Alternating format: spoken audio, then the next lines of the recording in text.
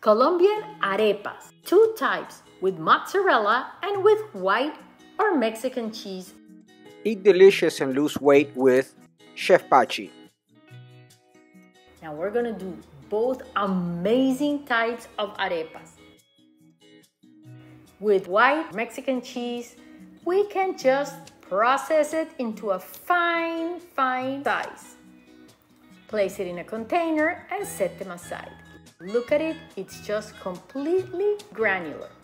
Now with mozzarella cheese, we can't do that because otherwise we'll just have a blob of mozzarella. So we cut the mozzarella in small dice, add it to the food processor and just process in four or five seconds at a time. You see the difference? The mozzarella pieces are larger. We can't completely blend it unless it's almost frozen. In two containers, I'm adding exactly the same recipe with different kinds of masa corn flour. We have two different ones that I wanted to show, but they're actually the same. Same ingredient, same pre-cooked corn masa flour, same very hot water, butter or ghee, and salt. Here, we mix with a fork until all of that water is absorbed and it is hot because we wanted to hydrate the dry masa flour. We cover them for about five minutes and then we can put our hands inside and mix them to create a well in the center of the masa. You might think it's a little dry, but do not worry. If you want to add a little more water or liquid or milk or butter, it's fine.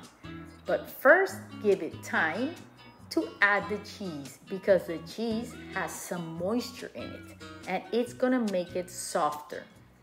Look at this. Once we've mixed the cheese in all of the masa, it's actually created a dough, a perfectly mixed dough.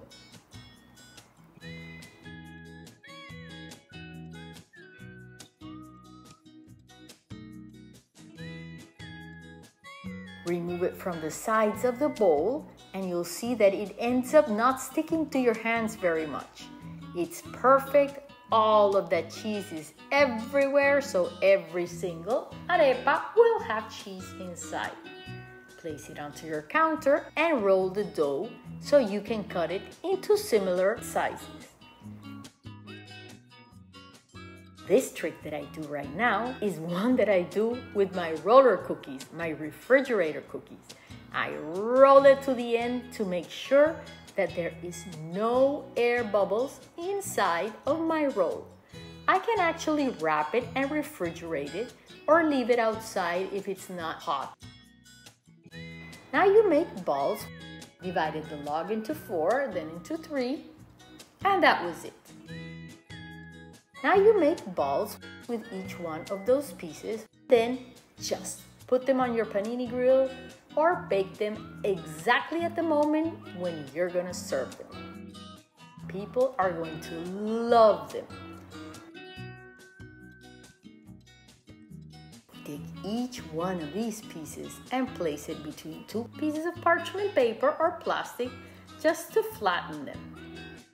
We flatten them a little bit they're about a little less than half an inch, about a third of an inch, but it actually doesn't matter. We're gonna put them on a panini grill or bake them, and it's just what you like the best, if you want them really thin or not that much. So how about this? We put them on a panini grill, and three minutes later, look at these beautiful arepas. These are from a recipe from my book, of the food and cooking of Colombia and Venezuela. It's a beautiful book you can get at Amazon or other countries where they still sell it. They are delicious, just right out of the panini grill or the oven.